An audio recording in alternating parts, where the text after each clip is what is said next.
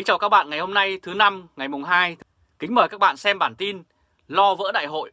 Tô Lâm sai bắt người bất đồng chính kiến. Năm 2019 là 365 ngày đen tối của Việt Nam với việc Bộ Công an đã cho bắt giữ các nhà đấu tranh, những cây bút phản biện hay các blogger và kết án bỏ túi nặng nề các tiếng nói khác với định hướng của Đảng Cộng sản Việt Nam. Và điều này đã được báo chí quốc tế đăng tải trong thời gian gần đây nhất. Đây là hình ảnh nhà hoạt động Lê Đình Lượng đứng trước tòa án tại Việt Nam. Có thể kể đến như hồi tháng 4, năm thành viên Hội Anh Em Dân Chủ Nguyễn Văn Túc, Nguyễn Trung Tôn, Nguyễn Bắc Triển, Trần Thị Xuân và Phạm Văn Trội đã bị xử tù từ 7 đến 13 năm tù giam. Đến tháng 8, nhà hoạt động Lê Đình Lượng nhận bản án 20 năm tù giam và 5 năm quản chế. Bản án có lẽ là cao nhất từ trước đến nay với cáo buộc hoạt động nhằm lật đổ chính quyền nhân dân. Một tháng sau đó, Tòa án Nhân dân tỉnh Quảng Bình kết án ông Nguyễn Trung Trực 12 năm tù, 5 năm quản chế với cáo buộc hoạt động nhằm lật đổ chính quyền nhân dân. Tháng 10, 5 người Lưu Văn Vịnh, Nguyễn Quốc Hoàn, Nguyễn Văn Đức, Độ, Từ Công Nghĩa và Phan Trung bị xử theo Điều 79 của Bộ Luật Hình sự năm 1999, hoạt động nhằm lật đổ chính quyền nhân dân với mức án từ 8 đến 15 năm tù giam. Và để gần lại các bạn thấy hình ảnh rất rõ của nhà hoạt động Lê Đình Lượng đang đứng trước tòa và ông đã bị bản án rất nặng nề chỉ vì cất lên tiếng nói bất đồng ờ, chính kiến với Đảng Cộng sản Việt Nam cũng như những hoạt động hoàn toàn hợp hiến của ông. Số lượng người bị bắt giam vào năm 2019 đã tăng cao bất thường, dẫn đến việc nhà cầm quyền Hà Nội bị các tổ chức và chính phủ nhiều nước trên thế giới lên án mạnh mẽ vì họ đã đàn áp công dân và vi phạm nhân quyền hết sức trầm trọng tại Việt Nam. Đây là hình ảnh người dân Việt Nam đã biểu tình phản đối dự luật đặc khu. Ông Vũ Quốc Ngữ, Giám đốc Tổ chức Nhân quyền, người được vinh danh giải nhân quyền quốc tế và pháp quyền năm 2019 do Đức và Pháp đồng chủ sướng đã lên tiếng như sau. Tình trạng nhân quyền năm 2019 rất tồi tệ với việc gia tăng giới bất đồng chính kiến và giới hoạt động xã hội dân sự. Con số cụ thể là năm 2019, nhà cầm quyền đã bắt ít nhất 40 nhà hoạt động, trong đó có 21 người liên quan đến những bài viết ôn hòa trên trang Facebook, kết án 40 người hoạt động khác. Theo đánh giá của ông Ngữ, thì số người bị bắt năm 2019 cao hơn năm 2017, nhưng ít hơn năm 2018, bởi năm 2018, hàng ngàn người dân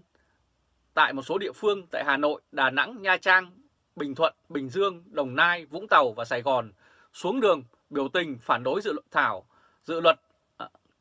đặc khu kinh tế và dự thảo luật an ninh mạng, khiến hàng trăm người bị bắt và có ít nhất 127 người đã bị kết án tù. Và để gần lại các bạn thấy hình ảnh của những người à, tham gia cuộc biểu tình chống dự luật đặc khu và sau đó đã dẫn đến việc Quốc hội Việt Nam buộc phải tạm dừng dự luật này và không thể thông qua vì có nguy cơ an ninh rất cao khi những đặc khu này được uh, chính thức trở thành luật thì các công ty của Trung Quốc cũng như những cái công ty trá hình của Trung Quốc sẽ dùng tiền đến đây để mua và thao túng toàn bộ những đặc khu này. Và khi Việt Nam hội nhập với quốc tế thì thay vì giảm bắt người để quy kết tội theo những điều luật vu vơ thì giờ đây họ đã làm điều đó, họ hết sức ngược lại và vô cùng nguy hiểm. Đây là hình ảnh blogger Nguyễn Ngọc Già.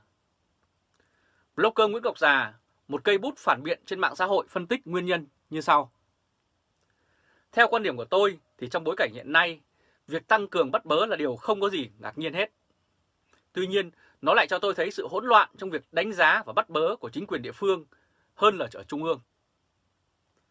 Thời gian cách đây khoảng 5 năm, tức là thời gian tôi bị bắt, trước đó là Điếu Cày, Trần Huỳnh Duy Thức, Lê Công Định, thì lúc đó có sự thống nhất và quy về một mối cho việc tăng cường đàn áp nhân quyền. Nhưng giai đoạn sau này, đặc biệt là vào năm 2018, 2019, tôi thấy nó không còn tính thống nhất nữa, mà mạnh địa phương nào, địa phương đó tùy nghi bắt bớ và kết án mà không cần xin ý kiến của Trung ương.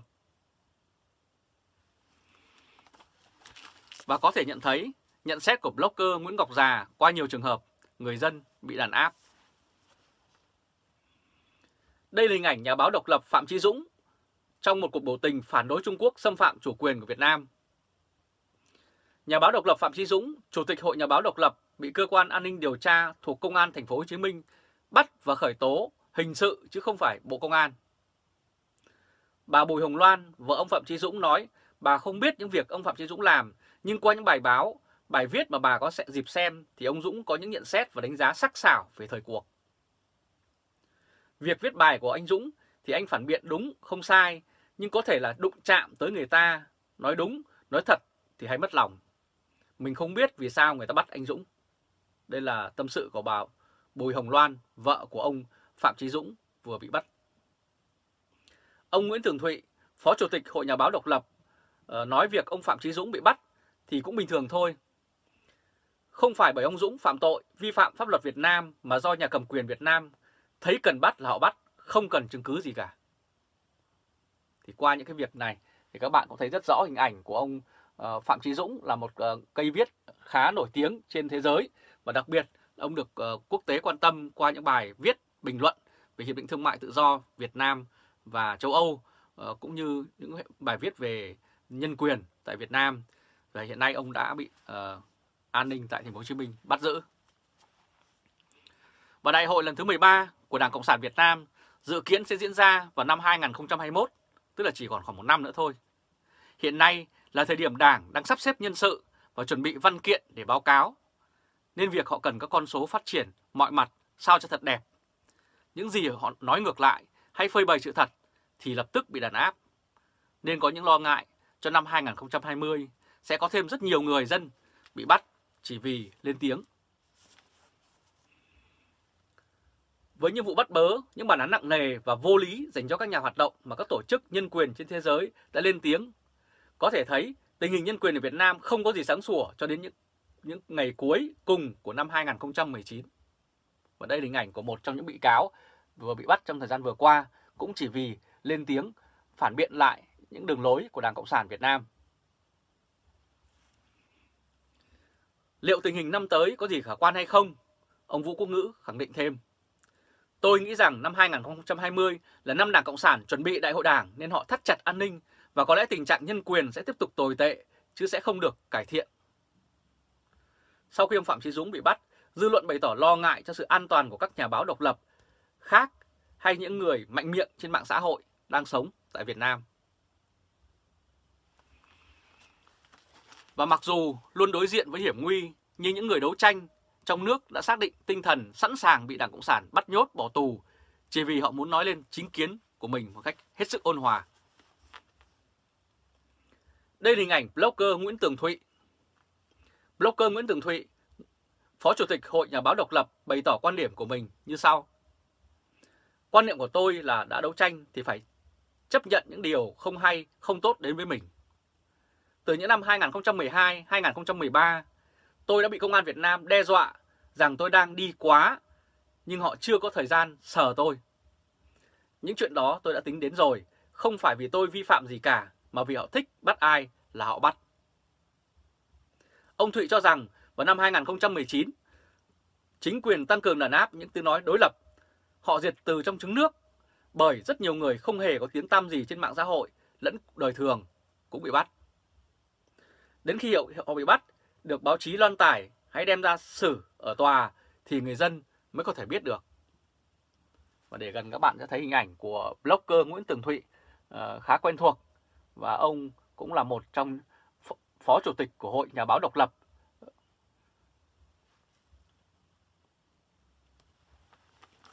Và tình trạng bắt bớ này được coi là đang diễn ra rất hỗn loạn, mạnh ai nấy bắt mà không cần chứng cứ phạm tội.